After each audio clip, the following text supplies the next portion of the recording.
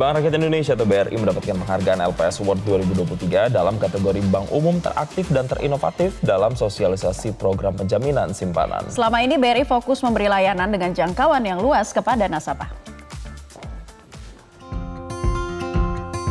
Sebagai bentuk apresiasi kepada perbankan dan media yang membantu sosialisasi program penjaminan simpanan, LPS atau Lembaga Penjamin Simpanan menyelenggarakan LPS Award 2023.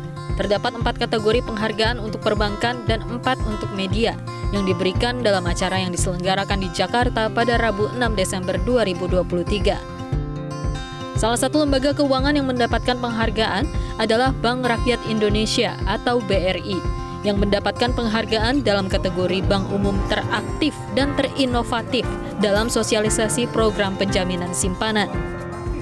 Selama ini, BRI berfokus memberikan layanan dengan jangkauan luas kepada masyarakat, terkhusus nasabah, dengan layanan hybrid bank.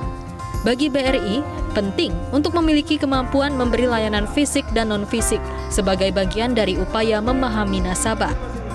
BRI menilai sosialisasi program LPS menjadi bagian dari peran pelaku industri dalam memberi rasa aman dan kepercayaan kepada masyarakat dan nasabah untuk menggunakan jasa perbankan ini adalah bagian peran dari kami selaku pelaku industri untuk bisa meyakinkan bahwa uh, keberadaan LPS ini memberikan rasa yakin buat nasabah ataupun juga masyarakat untuk mempercayai industri perbankan.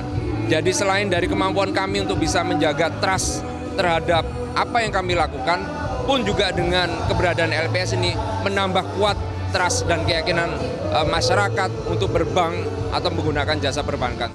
Sementara itu, LPS meyakini perbankan nasional saat ini dalam kondisi yang sangat baik.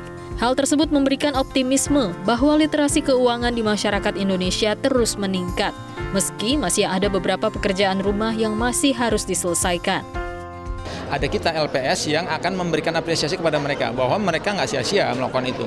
Bahwa sumbangsih mereka kepada uh, masyarakat ujung-ujungnya kepada masyarakat Indonesia itu kita beri apresiasi kita beri penghargaan. Kita mendorong itu semua. Tujuan akhirnya nanti tadi supaya literasi keuangan di Indonesia itu uh, terus meningkat masyarakat uh, terus memiliki keinginan untuk menabung dan mereka yakin tabungan mereka itu aman karena dijamin oleh LPS upaya mendukung dan berperan aktif dalam memajukan industri keuangan serta memberikan edukasi terkait literasi keuangan kepada masyarakat penting dalam rangka mendorong perekonomian nasional. Jelajahi cara baru mendapatkan informasi. Download Metro TV Extend sekarang.